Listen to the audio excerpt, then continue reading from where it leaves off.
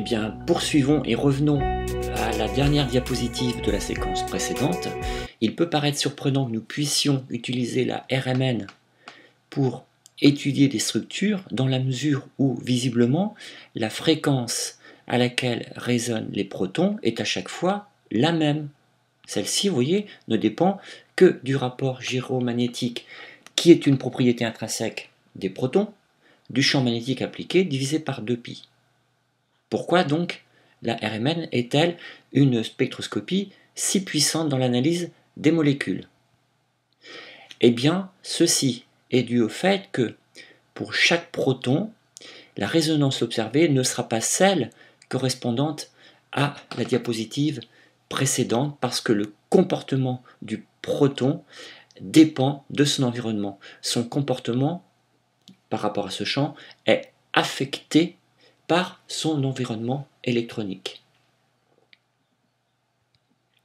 Ainsi, pour chacun des protons d'une molécule, eh bien, tout se passe comme s'il était soumis à un champ magnétique qui n'est pas le champ réellement appliqué B0, mais à un champ magnétique un tout petit peu plus faible, mais vraiment très très euh, légèrement plus faible, en tous les cas suffisamment faible pour que, ben, vous voyez, ce proton n'est plus soumis au champ B0, mais au champ B0 que multiplie 1 moins sigma. Sigma est appelé constante d'écran ou constante de blindage. Ainsi, je pense que vous commencez à remarquer euh, l'intérêt de la RMN dans la mesure où ben, finalement chaque fréquence de résonance ne va plus être la même, mais va dépendre de l'environnement, puisque le proton va résonner désormais à gamma B0 sur 2pi que multiplie 1 moins sigma. Ainsi, tous les protons isolés résonnent à la même fréquence, gamma B0 sur 2pi, ce que nous voyons ici. Mais en fait, les noyaux des protons, donc dans les atomes d'hydrogène, ne sont pas isolés, hein, mais euh, sont dans un environnement bien particulier. La fréquence de résonance a été modifiée.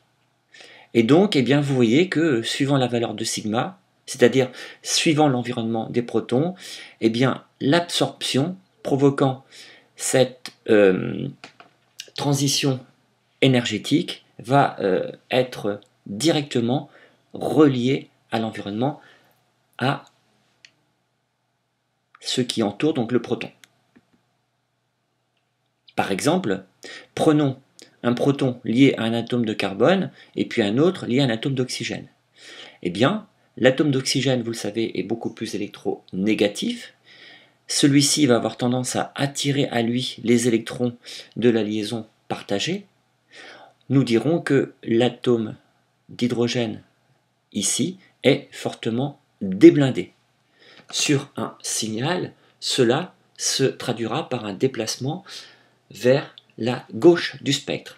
A l'inverse, ici, la densité électronique reste assez importante autour du proton, donc celui-ci euh, restera relativement blindé. Voilà, nous retiendrons donc que la répartition des électrons autour du proton affecte hein, euh, le noyau de ce dernier. Et cela a des répercussions sur le champ magnétique local que subit le proton, la fréquence donc finalement à laquelle il va résonner, et finalement aussi sur la chimie de la molécule au niveau de cet atome. La variation de la fréquence de résonance est appelée déplacement chimique et elle est notée delta. Delta s'appelle donc un déplacement chimique. Déplacement chimique, eh bien, d'après les euh, définitions des termes de chimie, cela est défini comme la modification de la fréquence de résonance d'un spin nucléaire causé par son environnement électronique. Le déplacement chimique est dû au champ magnétique induit localement par les courants d'électrons qui sont produits et qui euh, s'opposent, c'est la loi de Lenz, au champ magnétique auquel ils sont soumis. Comment allons-nous repérer la modification de la fréquence Eh bien, nous allons la repérer en utilisant en fait une fréquence de résonance de référence qui est celle des 12 protons, pour l'instant je dirais tous semblables, du tétraméthylxylane. Euh, ça signifie en fait que cette référence, ce tétraméthylsilane, va être systématiquement donc ajouté aux échantillons de façon à ce qu'on puisse bien repérer sa fréquence de résonance et mesurer tous les déplacements par rapport à lui. Le tétraméthylsilane est euh, cette molécule-ci. Tétraméthyl, 4 groupes méthyl, xylane, comme les alcanes avec l'atome de carbone, sauf qu'ici il s'agit donc euh, d'un atome de silicium. La fréquence de résonance, en appelant donc euh, sigma la constante d'écran subie par euh, les 12 protons du tétraméthylxylane, est nu du TMS pour tétraméthylxylane égale gamma B0 sur 2pi 1 moins sigma TMS. Dans l'échelle d'électronégativité de Pauling, l'électronégativité du silicium est 1,90, celle du carbone 2,55. Qu'est-ce que ça signifie? Ça signifie en fait que les atomes de carbone attirent à eux les électrons. Donc vous avez une densité électronique qui est très très importante autour de tous les protons du tétraméthylxylane. Eh bien, nous aurons ici 12 protons qui seront dits très blindés, hein, qui subissent un blindage très important des électrons situé autour des atomes de carbone. Blindage important, le signal du TMS euh, sortira donc très à droite sur les spectres. En résumé, voici la fréquence de résonance des protons du TMS, voici la fréquence de résonance du proton étudié, la variation de fréquence, delta nu égale nu moins nu TMS, est égal à gamma B0 sur 2pi, sigma TMS moins sigma. L'inconvénient de euh, cette expression-ci, si vous voulez, c'est que eh bien, euh, nous allons avoir des spectres qui vont euh, être différents et qui vont dépendre du champ magnétique de l'appareil utilisé, hein, celui qu'on crée au sein de l'appareil utilisé. Eh bien, pour s'affranchir de cette constante par appareil, mais finalement qui diffère d'un appareil à l'autre, B0, eh bien, nous allons définir delta est égal à delta nu sur nu0. Hein. Je rappelle que dans nu0, nous avons nu0 égale gamma B0 sur 2pi. Et vous voyez que ceci induit donc énormément de simplification parce qu'ici, eh bien, n'apparaît plus du tout le champ magnétique B0. Et c'est ce déplacement chimique alors, multiplié par 10 puissance 6, cette variation divisée par nu0 que nous allons utiliser dans toute la suite.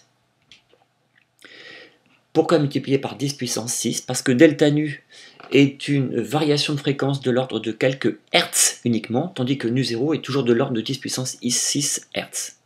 En multipliant par 10 puissance 6, nous allons avoir une expression qui va s'exprimer en partie par million, en ppm. Donc les déplacements chimiques hein, s'expriment en ppm et sont indépendants de la valeur du champ appliqué. Nous allons donc pouvoir construire des tables de déplacement chimique pour des types de protons donnés.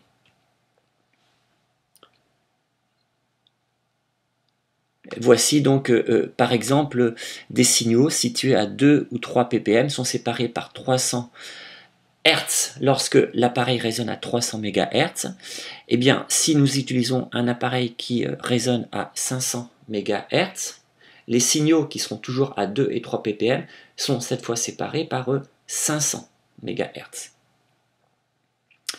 Comment arrive-t-on à ceci?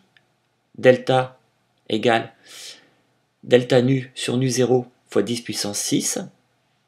Si vous avez euh, ici delta nu, qui est égal à delta nu 0 sur 10 puissance 6. vous voyez que si l'appareil résonne à 300 MHz, la variation de fréquence pour 1 euh, pp, une variation d'un ppm, est égale à 300 Hz.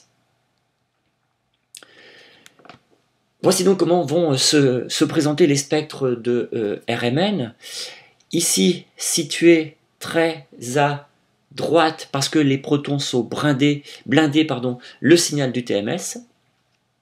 Et puis les signaux que nous allons maintenant euh, apprendre à, à lire, à exploiter des différents protons. vous voyez qu'en fait, suivant les environnements, eh bien, ces, protons vont résonner dans des euh, zones de déplacement chimique qu'il est assez possible d'identifier euh, lorsqu'on a un, spectre. Euh, ici, par exemple, en général, vous avez par exemple le signal d'un proton qui est celui de, de l'aldéhyde. Donc des protons ici avec des déplacements chimiques donc, qui augmentent en même temps qu'augmente le déblindage. Ici des, des protons dits blindés ici des protons dits déblindés. Au fur et à mesure que l'électronégativité des atomes augmente, eh bien, vous avez un déblindage qui est observé. C'est la fin de euh, cette euh, nouvelle séquence liée à la RMN. Nous allons maintenant donc nous intéresser vraiment aux interactions cette fois d'un proton avec tous ses protons voisins. Je vous retrouve dans la prochaine séquence jamais fini.